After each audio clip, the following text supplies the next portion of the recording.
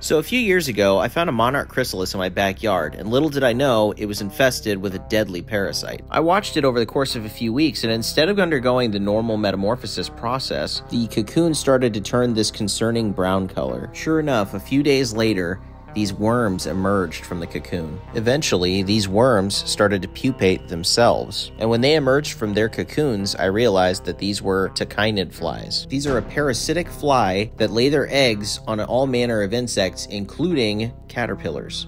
Much like other parasitoids, when the eggs hatch, they burrow into the caterpillar and they eat it from the inside out. Tachinid flies are just another example of how brutal but fascinating nature can be.